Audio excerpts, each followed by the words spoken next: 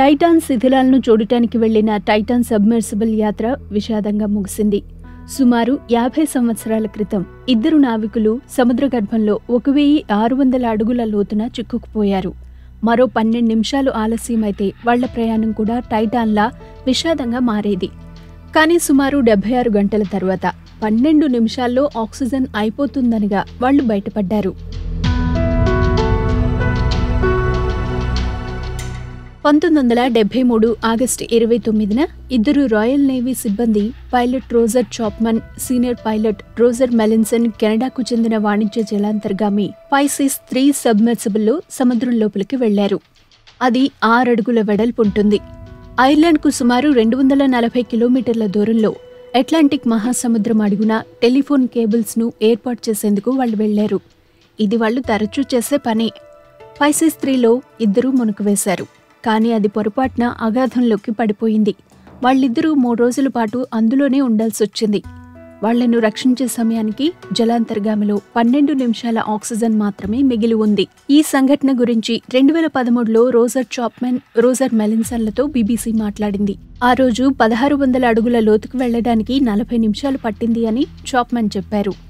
దట్టమైన పొగమంచులో మోటార్ బైక్పై తెల్లటి గీత వెంబడి ప్రయాణించడం ఎలా ఉంటుందో అలా ఉంటుంది సముద్రంలో కేబుల్లు వేసే పని అని చెప్పారు మెలిన్సన్. ఆ రోజు ఆక్సిజన్ ట్యాంక్ కూడా మార్చారు మెలిన్సన్. అది అనుకోకుండా జరిగింది. సముద్రం లోతుకు వెళ్ళడానికి లోపలున్న ఆక్సిజన్ సరిపోతుంది.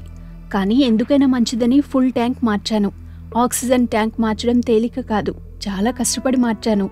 అదే చేసుండకపోతే ప్రమాదం జరిగినప్పుడు మేం బతికి ఉండేవాళ్ళం కాదు అని మెలిన్సన్ అన్నారు.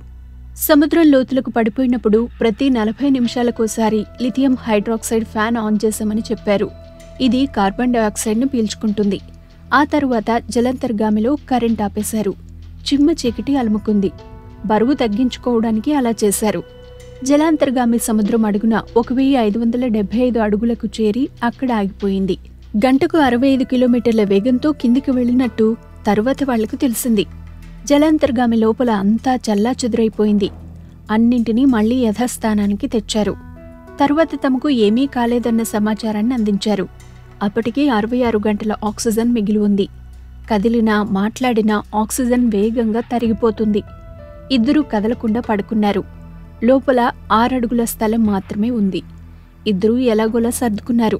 సముద్రం వెలుపల వీరిని కాపాడేందుకు సహాయ చర్యలు ప్రారంభమయ్యాయి. సపోర్ట్ షిప్ను పంపించారు. రాయల్ నేవీ నుంచి హెచ్ఎంఎస్ హెగిటే యుఎస్ నేవీ నుంచి సబ్మరీన్ కర్వ్ త్రీ బయలుదేరాయి. పైసిస్ టూ పైసిస్ ఫైవ్ జలాంతర్గాములను సిద్ధం చేశారు. వికర్స్ వాయేజర్ కార్క్ నగరం నుంచి బయలుదేరింది. ఇది కాకుండా రెస్క్యూ ఆపరేషన్లో సహాయం చేయడానికి మరికొన్ని నౌకలు ఒక విమానాన్ని సంఘటన స్థలానికి సమీపంలో మోహరించారు. రెస్క్యూ ఆపరేషన్ మూడు రోజులు సాగింది. మొదట తాడు సహాయంతో పైసిస్ టూను సముద్రం అడుగు భాగానికి పంపే ప్రయత్నం చేశారు. కానీ ఆ తాడు తెగిపోయింది. పైసిస్ టూ వెనక్కి రావాల్సి వచ్చింది. తరువాత పైసిస్ ఫైవ్ పంపారు. ఎన్ని గంటలు వెతికినా మునిగిన జలాంతర్గామి కనిపించలేదు. ఇంధనం అయిపోవడంతో పైసిస్ ఫైవ్ వెనక్కి వచ్చేసింది. కొంతసేపటి తరువాత మళ్ళీ పైసిస్ ఫైవ్ను లోపలికి పంపారు. ఈసారి పైసిస్ త్రీ కనిపించింది. దాన్ని తాడుతో లాగడానికి ప్రయత్నించినా ఫలితం లేకపోయింది. పైసిస్ త్రీతో పాటు అక్కడే ఉండమని పైసిస్ ఫైవ్కు ఆదేశాలిచ్చారు. తర్వాత పైసిస్ టూను పంపించారు. అయితే దానిలోకి నీరు చేరిపోవడంతో అది మళ్ళీ వెనక్కి మళ్ళింది. చివరికి పంతొమ్మిది వందల డెబ్బై మూడు సెప్టెంబర్ ఒకటిన పైసిస్ త్రీని బయటకు తీశారు. చాప్మన్ మెలిన్సన్ సముద్రం అడుగున పైసిస్ త్రీలో ఎనభై నాలుగు గంటల ముప్పై నిమిషాలు గడిపారు.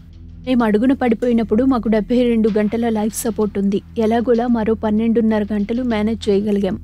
మమ్మల్ని కాపాడినప్పుడు మా ఆక్సిజన్ సిలిండర్లో కేవలం పన్నెండు నిమిషాల ఆక్సిజన్ మాత్రమే మిగిలి ఉంది అని చాప్మెన్ చెప్పారు. ఈ సంఘటన తర్వాత రోజర్ చాప్మెన్ ఉద్యోగానికి రాజీనామా చేసి తన సొంత డిఫెన్స్ కంపెనీని ప్రారంభించారు. రోజర్ మెలిన్సన్ మరో ఐదేళ్ళు అదే కంపెనీలో కొనసాగారు. ఆ తర్వాత కూడా నావికులిద్దరూ తరచూ కలుసుకునేవారు. అయితే ఈ ప్రమాదం వారిద్దరినీ మానసికంగా పెద్దగా ప్రభావితం చేయలేదని చెప్పారు. చాప్మన్ రెండు వేల ఇరవైలో డెబ్బై నాలుగేళ్ళ వయసులో క్యాన్సర్తో మరణించారు.